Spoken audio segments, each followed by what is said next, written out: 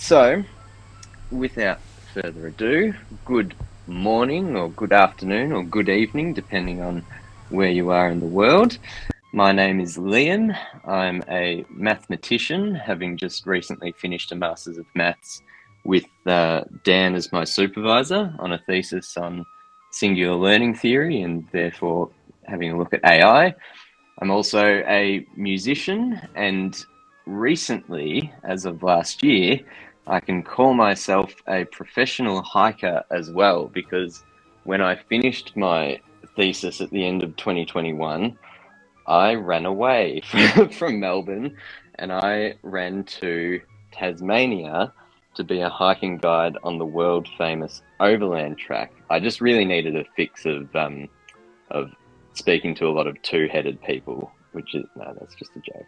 Tasmania is the brunt of many jokes, but um, yeah, I ran away to the Overland Track, which is a six day, 90 kilometre hike through the spectacular Tasmanian wilderness. And I actually calculated that between my job and between um, a few recreational trips as well, I spent 85 days in the wilderness last year, which is just insane. It was so incredible, and I'm going to share a few things about that today. Um, before I do that, though, I would like to acknowledge the Palawa Pakana people of the Lutruwita, Tasmania, that I am giving this talk from today. I'm in my house in Hobart, Nipulen, Nipaluna, I should say, and also acknowledge those original custodians, the Big River tribe of the land that I will actually be talking about today, being the Overland Track, the Cradle Mountain Lake St Clair National Park. I think that acknowledgement is really important in general, but it's also really, really um, important in the context of this talk. Um, it's very thematically linked, I think. So, as I was saying before, it's been a real privilege to get to do this work, and Dan has kindly set up this world as a bit of a meta overland track, and we're going to have a look at some photos of this wilderness, this wildness. Um, and yeah, I'll try to remember to point out what exactly we're looking at each time. So in these ones here, we're looking at Crater Lake. Um, most of the photos are from the first day, not all, but most. And I think you can already start to see that sense of wildness in how the weather and the seasonality affects the landscape so much. On the in the right hand photo, there's this bright yellow tree called the fagus, which is related to, or well, it's sort of evidence of uh, Tasmania's Gondwanan heritage actually, and it turns bright yellow at the end of April, so late autumn in Tasmania, and it's just absolutely spectacular. So, Dan asked me to give a talk about the value that I find in wildness and we figured that we could go for a bit of a saunter, um, to use a word that Henry David Thoreau loves to use, through our meta overland track. So I'll go onto the board. Starting point, I think, is to actually think about the definition of wildness. I am a, a mathematician, if you recall. So the first thing I want to say is that I think wilderness is a subset of wildness. So just to make that clear, there's a good quote that I read, which is wildness is the essence of wilderness, but wildness can be found anywhere. Wilderness, on the other hand, is a place that is dedicated to the preservation of wildness of nature. So wildness is somehow more feeling oriented, I think, and that's going to be a big theme of this talk. So I think it's telling, and I'll talk a bit more about this in a sec. I think it's telling what the definitions offered by the Oxford and Cambridge dictionaries are of wildness. So they say that wildness is the character or the quality of being uncultivated, of being undomesticated, of being inhospitable, of being uncontrolled, or even being violent.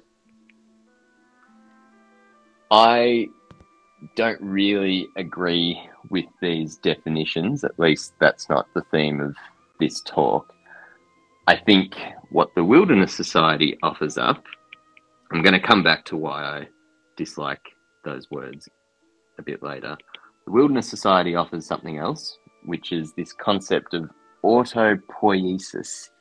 Bit of a long word, but basically it means the basic ability of anything living to renew itself. And I think there are two key words in there. One being living. I think wildness is very connected to life, and the other being renewal. So I mentioned Henry David Thoreau before, and he's a, a very well known philosopher from uh, Concord, Massachusetts, um, about wildness and about the nature of walking. One of his quotes, which is actually on the Meta page, is well, it's inscribed in another quote, but one of his quotes is In wildness is the preservation of the world. And I quite like that, but I actually prefer another one that he's got, which is Life consists with wildness. The most alive is the wildest. Not yet subdued to man, its presence refreshes him. I think that's a really amazing quote. So, I think my claim for this talk is that I think that engaging in wildness is the act of succumbing to an infinite complexity in nature that we are a part of, and try as we might, we can never truly understand. And so, I guess, hopefully, by the end of the talk, without meaning to be too preacher about it, um, I hope that I can encourage you to seek and value wildness for it is at least part of what makes us human. Seek and value wildness, for it is part of what makes us human. With that, let's begin our saunter over to the next board.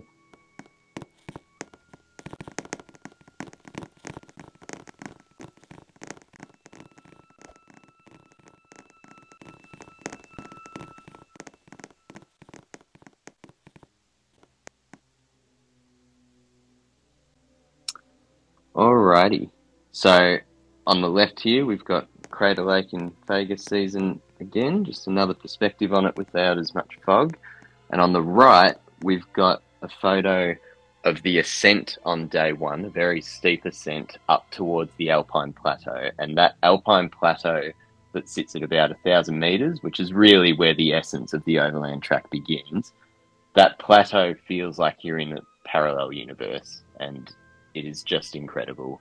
The ground level, your frame of reference for the ground level starts to feel like that thousand meter mark, as you'll see in some of the photos. And yeah, you just enter something completely otherworldly. So I wanted to share an anecdote from one of my trips.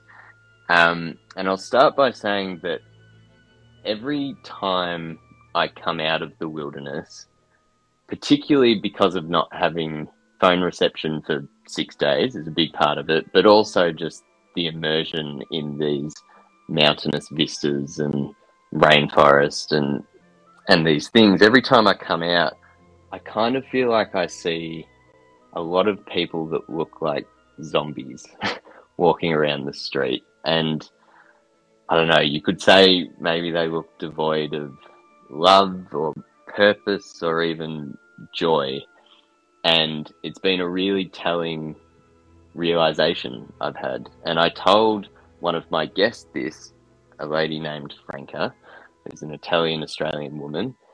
And she said that after 12 years of doing a particular corporate job, she actually kind of realized that she had gotten to the point of being one of those zombies. And where she felt this the most was she had a really deep love of cooking and she just completely fell out of love with it.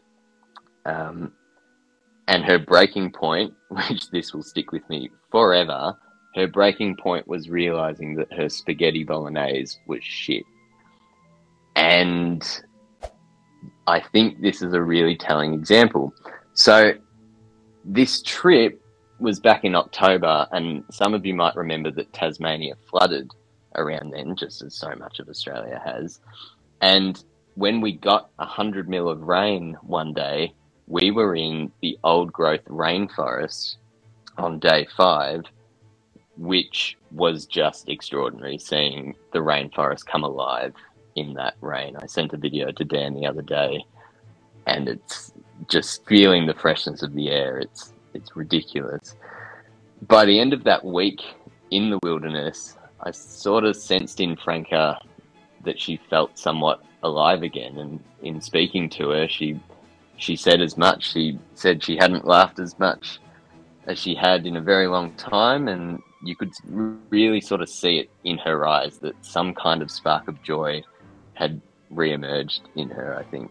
And so I guess part of the question of this talk is like, what exactly is that aliveness that I'm describing there?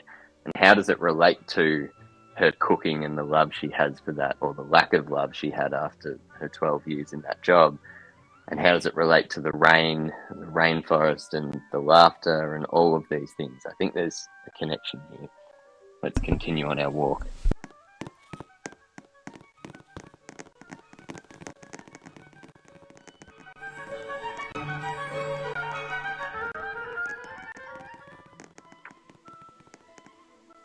So on the left here, we've got another photo of that ascent up towards the plateau. And this day, um, the Fagus was still out, but you can see the fog was just so thick and really created a really mystical, almost movie-like feeling. And when you zoom in on that photo and see the small people there, I think it's, it's one of my favorite photos I've taken.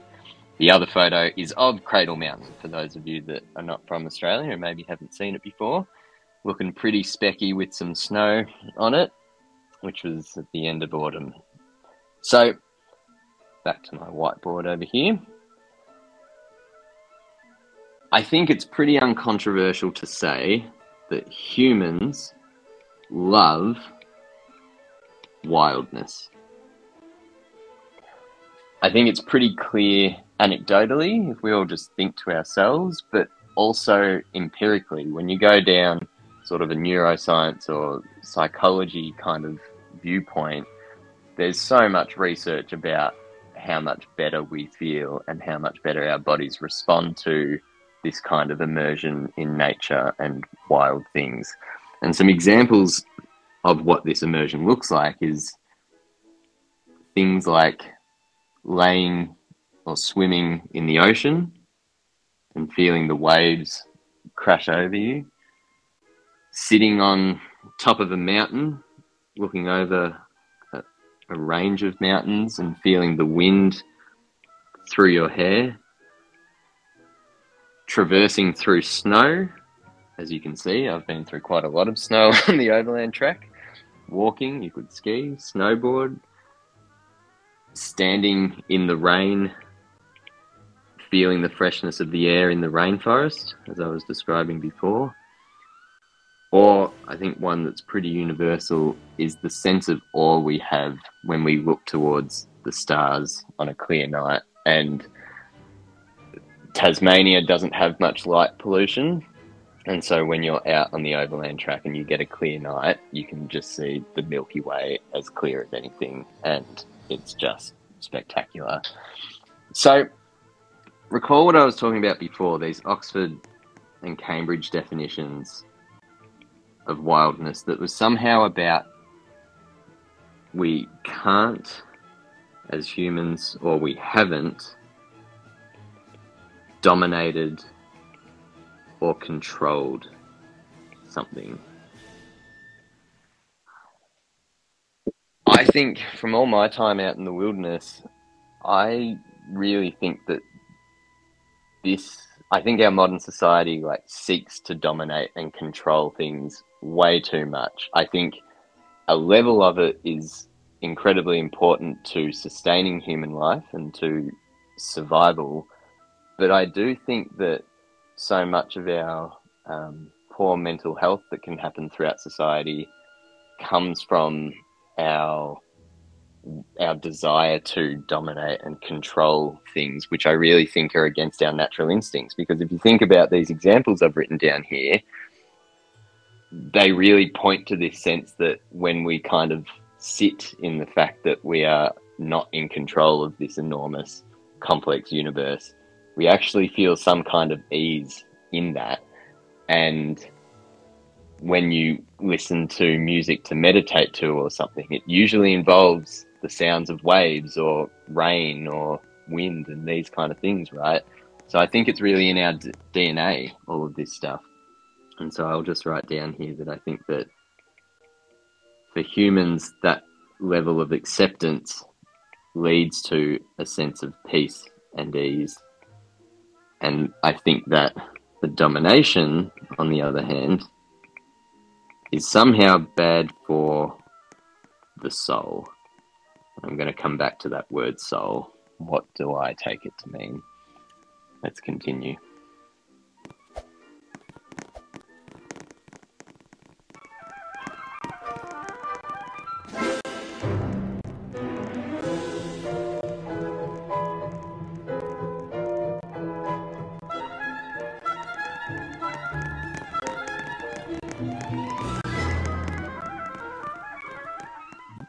Orb here. The orb is here. Um, so another view of Cradle Mountain on the left there, and another view on the right. Different day. That's one of the most amazing things about going through the track and doing this job is getting to see how much the place changes week to week. Different flowers, different weather, different light, all draws your eye to something a bit different every time. So, back to my whiteboard over here. This brings us to a question that a lot of us are asking ourselves at the moment, and now especially the public, I think, is starting to ask this with the introduction of ChatGPT. Are humans more special than an AI could be? So, many people in the AI community, chief among them, I would say, is probably Sam Altman, the CEO of OpenAI, which has created GPT-3 and therefore ChatGPT and DALL-E. Sam Altman believes that the human mind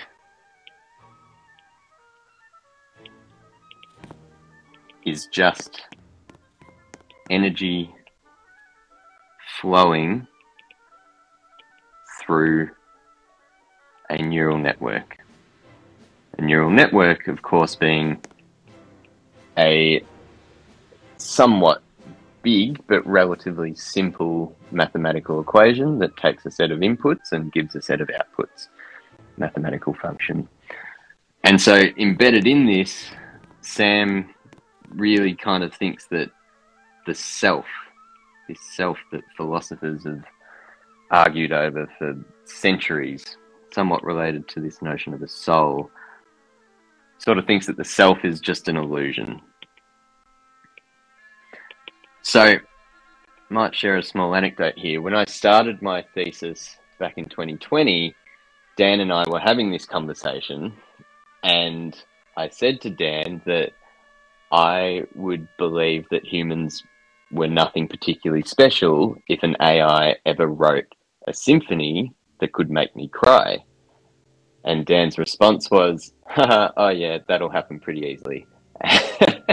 and I was, you know, a bit taken aback at first, but within a few days, he'd sort of convinced me of that. So maybe nothing particularly special about the music, but when I was then talking to Lucas Cantor a few days or a few weeks later, I'd come up with a new theory. I said, well, maybe what distinguishes us from AI is spirituality. But I didn't really have a good concept of what that meant to me because I personally am an atheist, but I do feel like there is a notion of a spirit and a soul. And in fact, one of my friends in the talk here, Charlie, we were hiking around Yosemite and uh, very much debating this point. Do humans have a, a spirit and a soul? And can it make sense if you've got Sam Altman's view that we're actually not that special as computers? So the rest of the talk is going to be having a think about this. Let's continue on.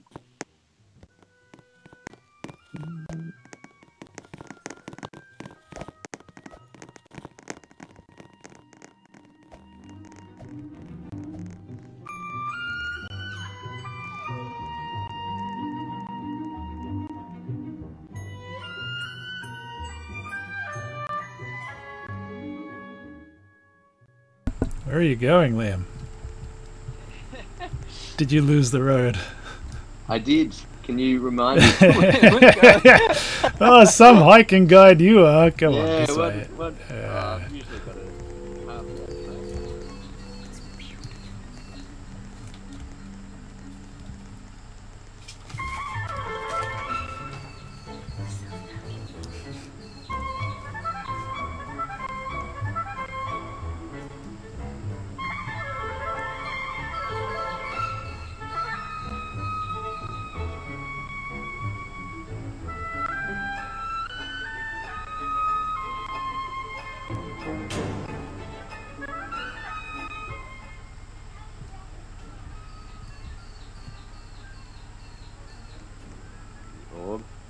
Oh, orb's going to be very confused. Ah, there it is. it's back. So on the left there is a photo of walking over the Cirque, which is just behind Cradle Mountain, and you can really start to get a sense of that plateau that I'm talking about along that trail there. And on the right is Barn Bluff, which is um, a very, very spectacular mountain that you really spend a lot of the first day staring straight at. So, to bring this back to the trips, this question of are humans more special than AI? I think I've observed something in the difference between type 1 fun and type 2 fun. So, just before I get there, I think it's reasonable to say that the human objective function, what we are optimizing for as humans, I think primarily is survival. Second, you might say procreate is what we're optimizing for, but that's maybe a little bit. I actually think that's a really interesting question these days as to whether that is part of our human objective function or not. But once we have done both of those things, or maybe just the survival part, I do think that humans are left with some void. we don't really sit down very well as humans, right? Once we're once we're like you know once we've had food and once we're we've got nice a nice roof over our heads, we're we're not very happy with just being content with that. We've got something else in us. So type one and type two fun, I think, is a good way of exploring this because type 2 fun is really what we're introducing a lot of our guests to on these trips. Type 1 fun is really a sort of short term happiness. It's kind of like a sugar hit, it's like dopamine, and you get it from things like roller coasters or kicking a ball around. I'm actually terrified of roller coasters myself, but that's a, a, pretty classic example of a kind of type 1 fun, right? Pretty simple, pretty short term kind of happiness. Type 2 fun is more about achievement and discomfort, particularly in the moment.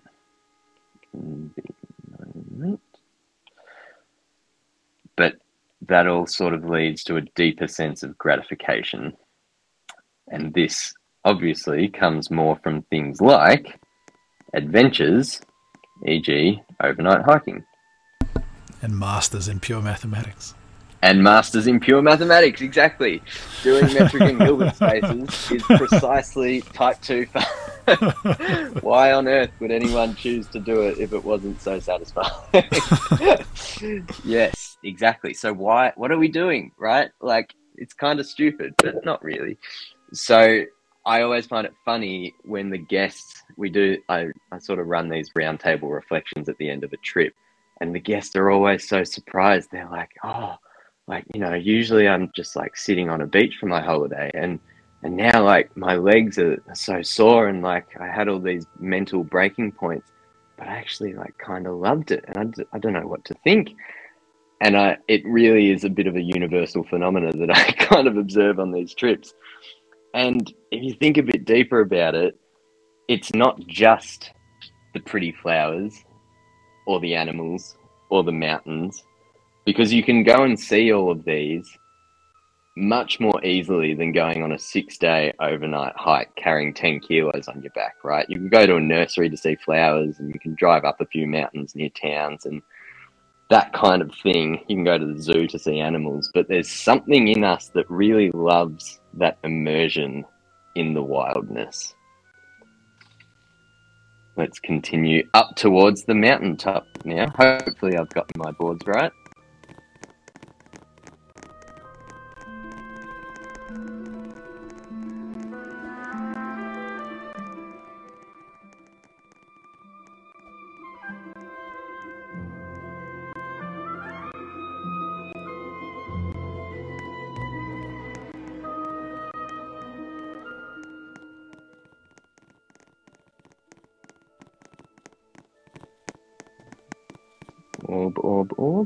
The orb.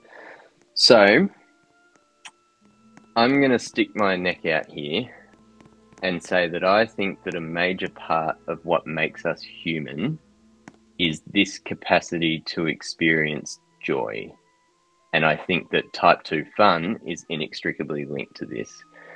And so I was having a think about it, and this is a very loose contention, but one that I'm willing to run with for the moment. I think as a vector space, the basis vectors for joy are beauty, love, and wild or wildness. And I think all of these are heavily related to a notion of transcendence. Dan and I were talking about this the other day. Transcendence somehow being a feeling that we are witnessing or experiencing something that is beyond human, beyond our understanding, beyond what we could reasonably experience. So, having a look at these basis vectors individually, just as a little bit of musing, I think that beauty might be related to finding order in wildness. Certainly, when we create art or when we discover things in science, um, certainly to the extent that mathematics is a discovery, I think wild wildness and beauty are inextricably linked here as well. Love um, I'm just going to say love is beyond the scope of this talk for today. I think this really it does it does feel right to me to put this in the same category as beauty and wildness, a, um, a triality chicken, of some sort. You're chickening out of treating all three of these in depth in a 30 minute talk. That's yeah, exactly. I'm just going to write down uh, Mahler's Adagietto as my definition of love for the purposes of today. But then to come back to this wildness, I think that wildness is comprised of this sense of aliveness and physical presence in nature when you stare across those mountain ranges or look at the colors in the sky or look at some of the flowers that some of you might have seen on these boards here that are all different colors. An immersion in complexity that I think ultimately implies or inspires, I should say, inspires curiosity in us. And I think so many of us try and fill that that sort of actualization void with this kind of curiosity and with joy in general, to be honest. And I think what's really interesting here is that the we can see that this is kind of in our DNA because infants have this novelty seeking behavior inbuilt in them, right? They don't just sit there and say, like, I am well fed. They're like bouncing around all over the place. And like, imagine blowing some bubbles in front of a small child. It's just like, whoa, what is this thing? So let's move on to the next stop where I'll talk about can an AI ever be human like in this way?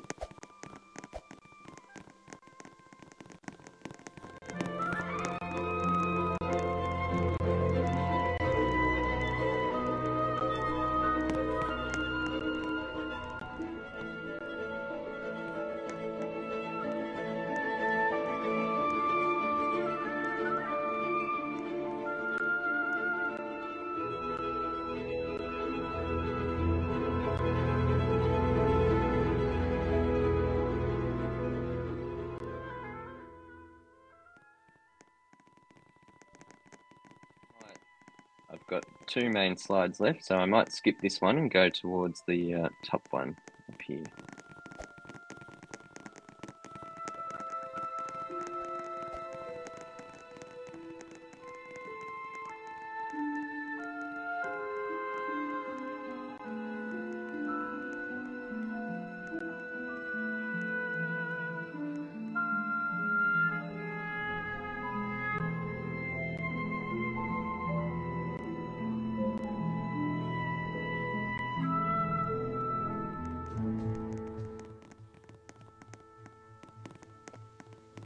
So these two photos here are from a bit later on the track towards day four, um, near the tallest mountain in Tasmania, Mount Ossa.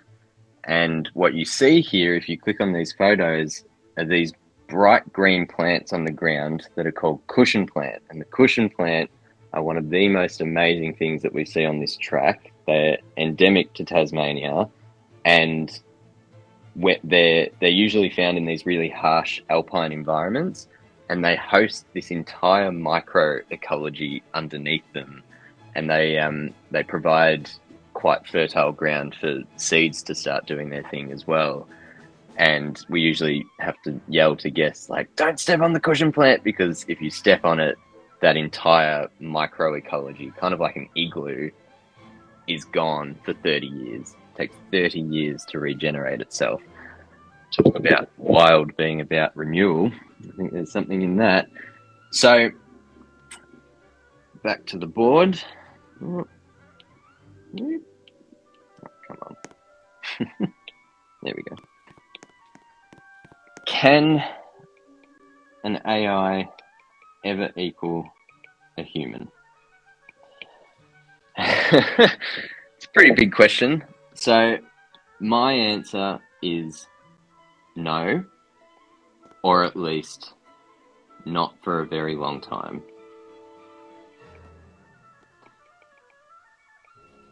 Why do I say this? Well, Dan and I were talking about this the other day. As humans, we are deeply embedded in nature, in this wildness.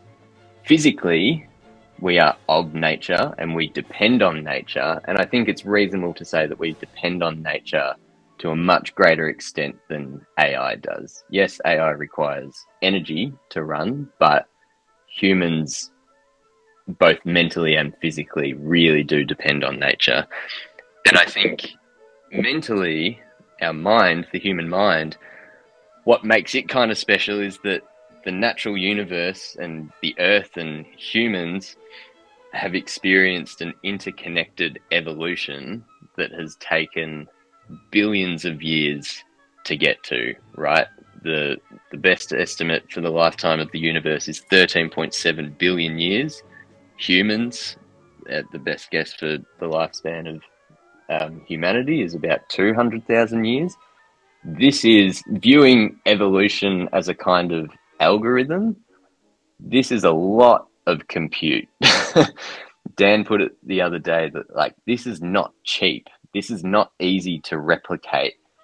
And I think that so much of the complexity of human behavior is somehow built into this. And I think that our connection and our connection with and our enjoyment of wildness is built into this phenomena.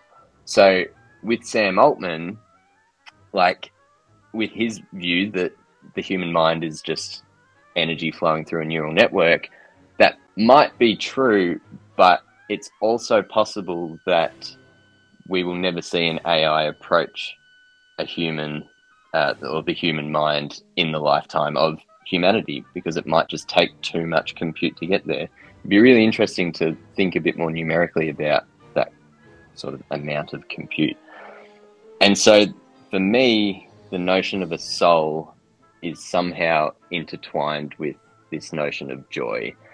And if I can just draw a little diagram here, I think that AI is going to be exceptionally good at prediction, and already is, pastiche, uh, being able to replicate styles, and definitely physical sensing as well, and physical processing.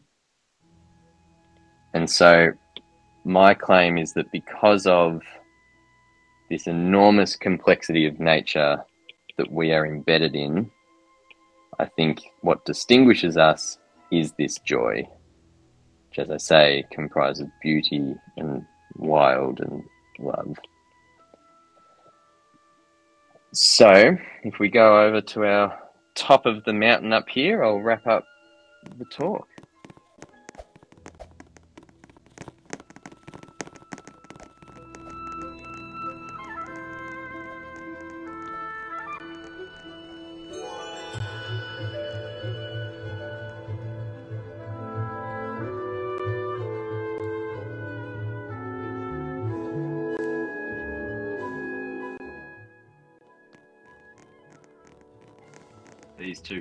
Photos. I'll just wait for the orb. These two photos here were Dan's favourites, and I think I probably agree. The one on the left is of a snow gum. Might actually be a yellow gum. Can't quite remember. Um, but I just love looking at these snow gums and how they kind of look like they're almost dancing. They've got such an incredible flow to them.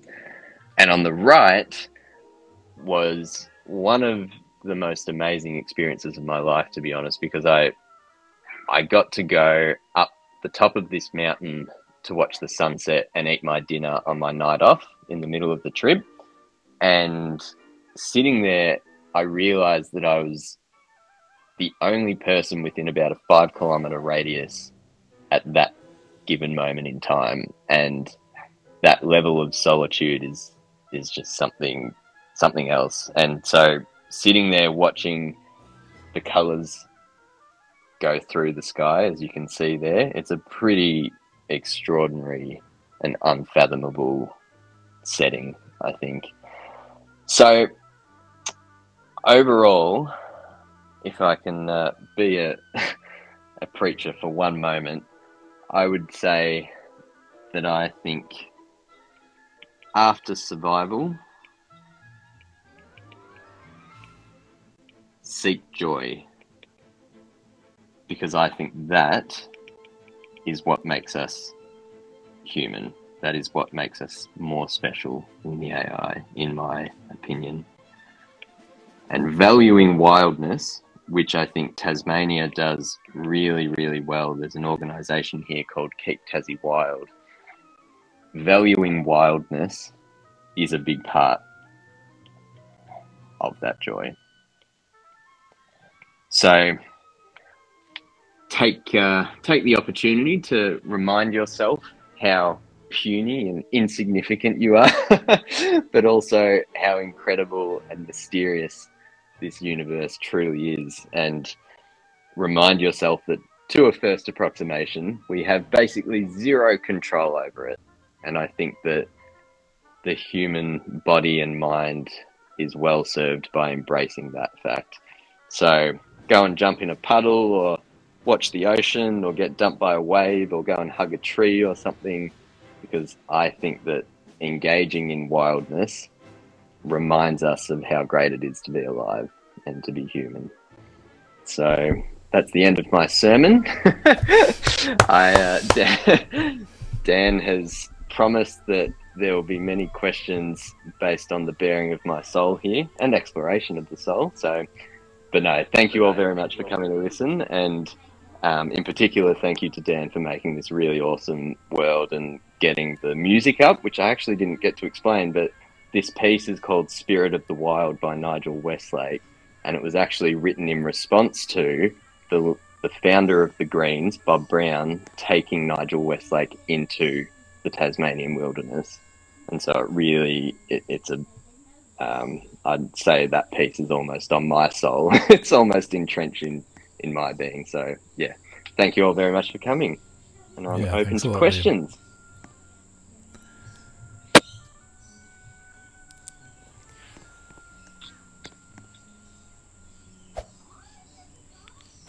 I don't want to hog all the questions, so I'm waiting, holding my breath for but I have plenty. Did somebody I have, want to um, ask? something very good? Mm-hmm. Um, I'm wondering what you think about um, about the role of. Um, I kind of want to say learning, but really it's creating knowledge in the way that um, David Deutsch, um, physicist, have, has anyone come across him and his writings? Mm-hmm. I have so he, not personally. I mean, he he's um he's he uh, talks about the primacy, if you like, of explanatory knowledge.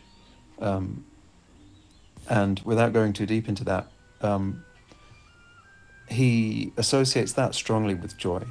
Like, I think type 1 fun is more like pleasure. And I completely agree that type 2 fun is, is joy. And that suffering on the journey is part of learning something new, like creating, instantiating new knowledge within yourself. And I, and I while I resonate with everything you say about wildness and experience it myself, I've had some very similar ex- experiences um, to, to what you describe. I also, um, I was on a roller coaster, which is type 1 fun, with my younger kid uh, last year. And we went twice. And the first time we were at the front of the train of cars. And the second time we were at the back of the train of cars, and I, I was I um, was surprised by. I should have known better. I mean, I, I could have predicted it had I thought, but I didn't think um, about how quickly the back cars are whipped over the edge when the you know when the the, the train of cars falls uh, into a drop. Um, and thinking about that and realizing that, I found joyful even though it's a roller coaster and primarily type 1 fun, if you can call it that, as I was fighting waves of nausea inflicted on me by my child. um, so, like, I think um, I wonder. I, I, I wonder what you think about this kind of basis for joy, where you are emphasizing the wildness and beauty, which I don't disagree with at all. But I also am quite drawn to this the, the sort of fundamentalness of knowledge creation and learning. Mm. And I mm. think that's also um, a core element of what makes us us, makes us human, which is actually something potentially very accessible to an AI in the future. Mm. Mm-hmm. I think that's a great question. I think I think there's a lot in that. I think um, I guess part of knowledge creation you could sort of put in maybe the the beauty aspect of joy that I was talking about, and particularly in mathematics, I think it's true that when you both understand a concept that someone else has come up with, but then also create it, you know, sort of to the extent that one can create or discover mathematics. Um, when you have that sensation, I think there's beauty in that as well, and that's related to the creating of knowledge. But I think the yeah, the AI aspect to that I think is really interesting. I wonder hmm I don't know, I wonder if there's an interplay. Like I'm just sort of imagining and you know, this is only based on the kind of AI that we can see at the moment, which is in its very, very early stages. So I know there'll be more complex AI out there at some point, but I do kind of wonder whether its internal reward functions will actually value that knowledge creation itself and like whether there is an interplay between the the type 1 and type 2 fun in doing that? I'm not sure. Do you have any thoughts on that, Dan? Hmm. I think we shouldn't underestimate how profoundly complicated our representations of nature might become. So, I mean, Mm. maybe our PDEs seem a bit simple to find as much value as we do in a sunset, but uh, the future is long, uh, and our explanatory theories and our knowledge might start to acquire part of the depth we see out there in the world as we get better at it. I think part of the scope that's opened up by AI is that we should uh, not imagine the future of our knowledge and our ability to experience reality is, is sort of as bounded as it currently is. Um, so I think we can become much more and incorporate much more of the wild. Uh, and maybe that's part of why AI is interesting. Um, Mm. Thanks for the question. It's a really interesting point. You're welcome. Um, a minor apology for the length and rambling nature. Not at all. Not at all. that's very Canadian, I have to say. Yeah, I, I'm I'm sorry for the apology. that's, that's what I was I was hoping to prompt exactly that. Um, we have uh, we need to move on to the next talk in about eight minutes, but uh, I uh, I hope there are more questions. Do you want to ask one, Dan? Yeah. Um, how does all this relate to your interest in mathematics? Uh, I mean, maybe it's hard to say exactly, but uh, I don't think it's an accident that you are the kind of person who's both drawn to uh, is drawn to both of these types of fun. Uh, I mean, both of these instances of type two fun.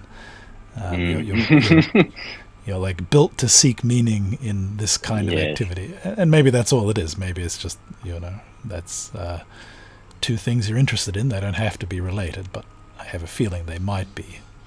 Mm, hmm I think the starting point there in the seeking of type two fun is definitely um, definitely rooted in the very privileged background that I've had myself and the very privileged upbringing because that you know in going back to what I said about the human objective function probably starting with survival and then going to this kind of actualization or the void as I put it the survival question has never been a problem for me. And I've been very very very lucky to have that.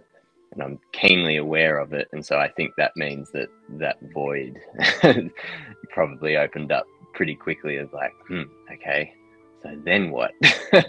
And I've always been very inquisitive by nature and I think that as we were talking about this this sort of duality between beauty and wild and and my I actually have written down something before which I think I said to you the other day. I seek to understand what I can understand so that I can know what I can never understand.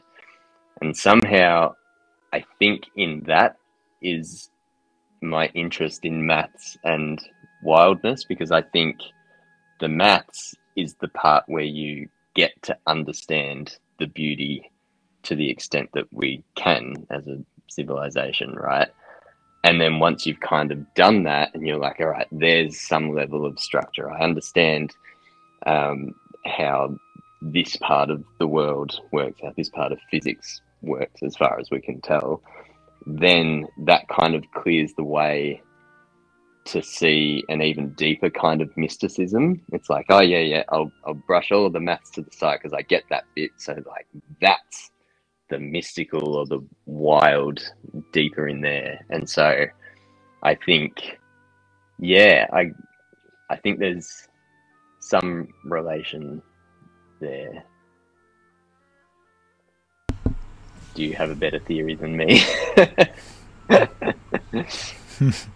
No, I don't think I would dare to insert into that comment uh, any of my own uh, thoughts. Um, yeah, I'd like to say thanks for preparing this talk. I think this is a very hard talk or tour to give. Uh, it's harder to be honest and uh, talk clearly about these kinds of things than it is to talk about math. So I really appreciate you sharing this thank you very much for the opportunity to do so. Um, and I, I, actually was thinking to myself when I was preparing it, I was like, God, like giving a sort of you know pseudo philosophical talk. It's very, it's very hard coming from a maths background where you're so used to truth, yeah. right, and proof, and you're like, all right, definition, we can prove this thing. We're not sure about this one yet, but maybe some rough intuition about this. And then you kind of present this philosophy, and you're like, oh, these are just based on trying to wrangle together various empirical things and anecdotes and appealing to some level of deep human intuition about it and stuff. So it was very interesting to to bring all these thoughts together. Mm. May one day our puny creations be worthy of uh, places such as the Overland Track. Yes. well, that yeah, that does. Um, I guess just in the last minute, Dan and I were talking about how one can create wildness in metauni, and I think um, so much of this wildness is dependent on a very long compute time and allowing this kind of emergent behavior to happen. It's not something that I can speak to in a great deal of technical detail yet, but intuitively, or you actually put it quite well, Dan, saying that like um, you might, how did you put it? That you only get out as much as you put in, in in essence. Although maybe I don't know. I think it's a really interesting topic how can one create wildness from sort of finitely complex systems, I suppose, which is kind of all that we ever have at our disposal. Yeah, you could say nature is finite, just big. Um, so yes, maybe it's, well, not, it's not like a true infinity. Uh, it's, it's, we don't need infinity to get get our hit. On that yes, note, and I guess uh, yeah. Sorry, go ahead. I'll just finish by saying, like, I guess that was kind of the point of me saying that I don't think the AIs can get to human level in like the lifetime of humanity itself. It's like if you left it to run long enough, then maybe, but those timescales are important.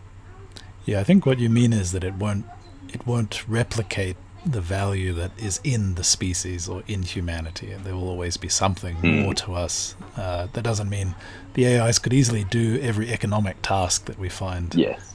valuable in terms of like you know whatever uh, digging yep. holes and yep, building yep, fancy machines. Uh, but you know, so you're not denying that, but you're saying that there's plenty left over that, in some intrinsic way, relies on uh, quantities of computation that are not easy to replicate. Mm. Mm-hmm. That's a good way of articulating it. Thank let's you, everyone, Liam. for listening. Yeah, thank you very much. That was great.